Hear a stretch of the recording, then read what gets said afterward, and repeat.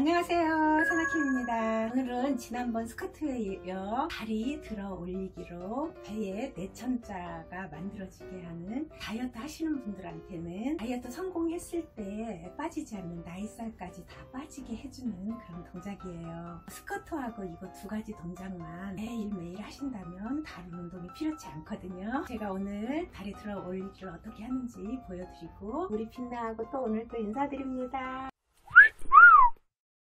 자, 무릎을 세우고 무릎과 무릎을 서로 맞닿게 하세요. 그리고 발과 발도 이렇게 딱 맞닿게 하세요. 그리고 양손은 내 어깨 밑으로 이렇게 가져다 주세요. 그리고 벌리기도 어깨 넓이만큼 벌려주면 됩니다. 그리고 손끝은 서로가 마주보게 이렇게 서로 마주보게 해주세요.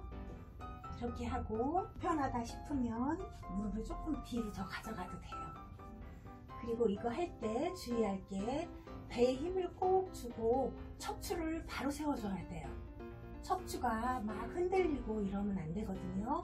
척추를 그대로 이 상태에서 어, 움직여지지 않게 척추를 바로 세운다고 생각하세요. 그리고 시선은 정면을 바라보는데 목이 이렇게 좀 올라가야 되거든요. 그렇기 때문에 천정 위로 시선을 봐야 돼요. 그래야 목이 계속 이렇게 올라가 있어요.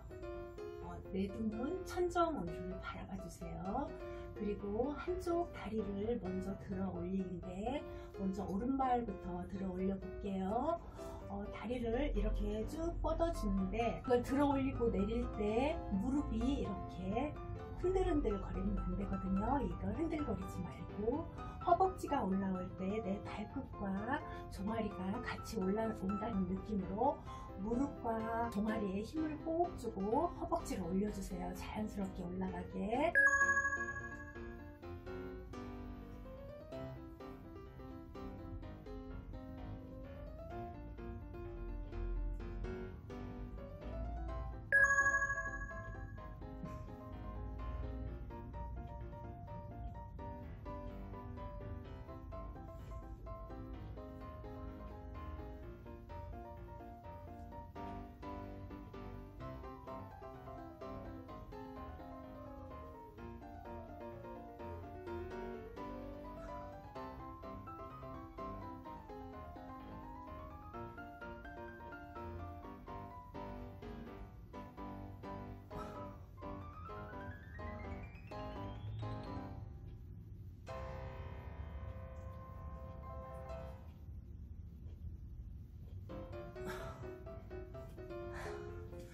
쉬운 번 했습니다. 왼쪽 다리도 똑같이 할게요. 발끝을 뒤로 쭉 빼주세요.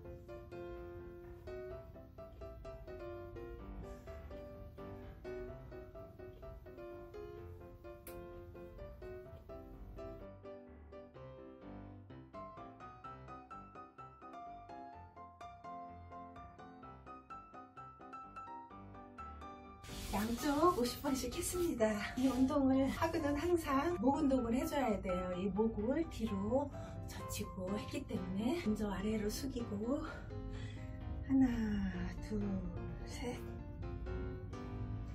옆으로 하나 둘 셋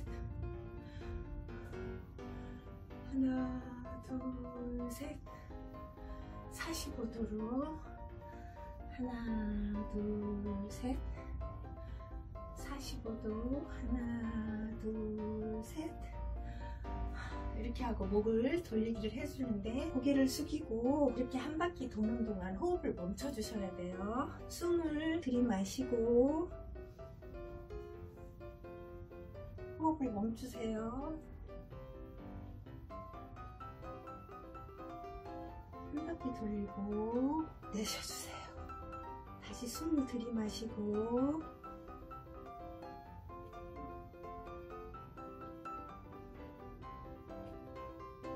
내쉬어주세요. 반대편도 똑같이 숨을 들이마시고 내쉴 때 두 바퀴를 숨을 들이마시고 호흡을 멈추고 두 바퀴 동안 호흡을 멈춰도 돼요. 이번에는 그렇게 해볼게요. 숨을 들이마시고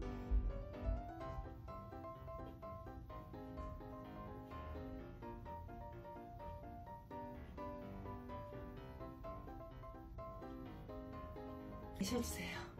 내가 호흡을 조금 더 오래 할 수 있으면 더 좋거든요. 이 운동은 좋은 게 전신 운동이고요. 얼핏 보면 근육 운동인 것 같지만 근육 운동과 유산소 운동 동시에 되는 운동이고요. 머리 끝부터 발끝까지 다 운동이 되는 운동이에요. 계속 하다 보면은 얼굴이 진짜 V라인이 돼요. 정말 해보세요.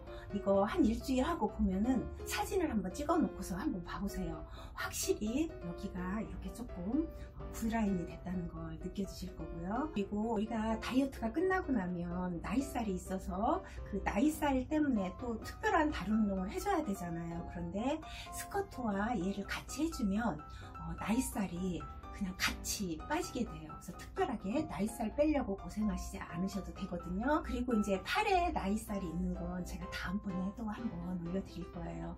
그렇게 세 가지만 하신다면 다이어트 끝나고 났을 때 정말 예쁜 몸매로 다이어트 성공하실 수 있어요. 그런데 다이어트 성공하셨다고 이 운동을 계속하지 않으시면 도도한 근육님이 어, 제 몸을 지켜주지 않아요. 어, 나를 이렇게 괄시한다고 운동 안 한다고 도망가 버리거든요. 어, 다이어트가 끝났어도 다이어트 할 때 했던 그 좋은 습관을 계속해서 같이 하신다면 제가 지금 60이 넘었거든요. 60이 넘었어도 저와 같은 이런 몸매, 몸매로 건강하게 사실 수 있어요. 여러분들도 제가 하는 대로 알려드리는 대로 이렇게 하시면 정말 정체기 없이 어, 3개월 동안 10kg 이상 뺄 수 있습니다. 제가 경험했고 경험한 걸 그대로 가르쳐 드리는 거니까 꼭 한번 저를 믿고 따라해 보세요. 그럼 오늘은 여기서 인사드릴게요. 빛나 안녕.